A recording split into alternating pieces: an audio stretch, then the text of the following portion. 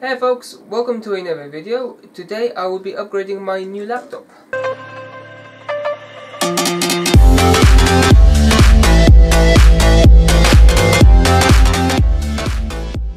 Now my new laptop is this HP.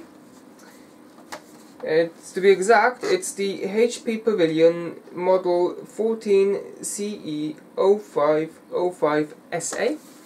And the upgrade I'll be doing on this today will be putting the RAM up to 16 gigs using this King Kingston HyperX RAM. This is 1 times 16 gigabytes. I'll also be upgrading the SSD to a 500 gig M2 SSD by Samsung, the 860 EVO to be exact. And here at the moment we've got the 250 something like that SSD is an M2 as well. I can't remember which model it is off the top of my head. I believe it's Western Digital. This particular laptop has dedicated NVIDIA uh, graphics as well as an i7 processor um, 8 gigs of RAM at the moment and it also has a 250 to 40 gigabyte SSD right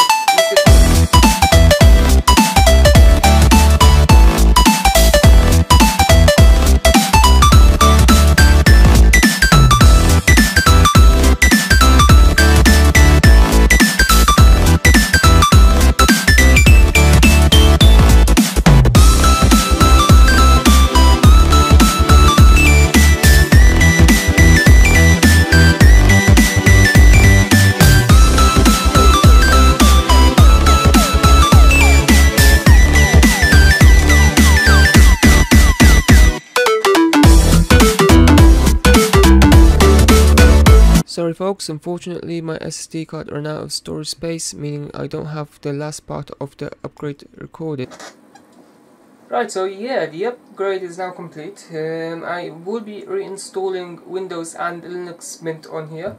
It's the first time I'll be running Linux Mint on here, by the way. Previously, I just didn't have enough storage space. Uh, this laptop will primarily be for university work, so I will need uh, both systems on there. That's why I upgraded the SSD. Right, so that's it for this video. If you like this video, thumbs up, and don't forget to subscribe for more. I'm gonna go ahead and configure this laptop to my needs, and that includes installing Linux Mint and Windows.